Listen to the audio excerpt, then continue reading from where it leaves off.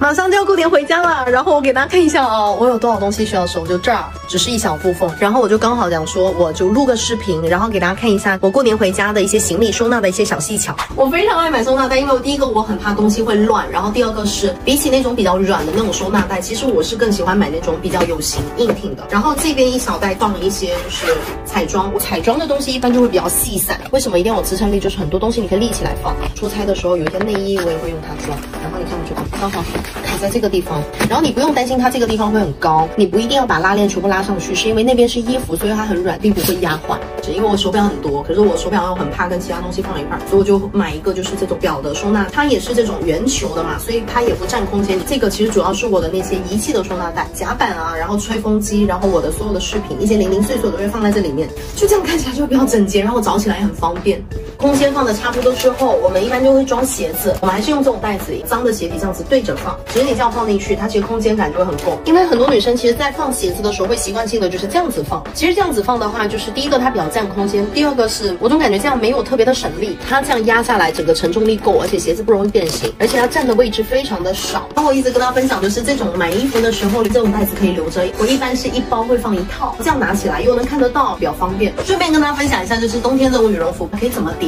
因为我发现。很多女生很习惯全部叠成这种就是大面包状，但是因为它这种比较厚，所以它会很占空间。最好就把它叠得很平整。这种比较大件的话，先把它的拉链跟纽扣全部扣起来，把最底摆的位置给它往上翻，目的是为了把那个羽绒服给它包住。然后呢，上半部分也是一样，两只袖笼给它这样子对折整齐，再往里面翻一折。把它全部这样塞进去，塞到里面去完之后呢，平铺，把它放在我们的行李箱里面，它就会相对平整，就比较不占空间。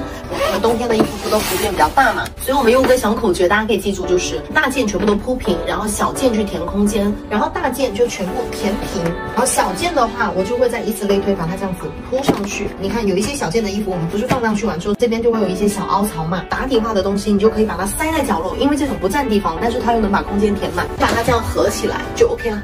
我感觉我不是天秤座，上升星座应该是处女座。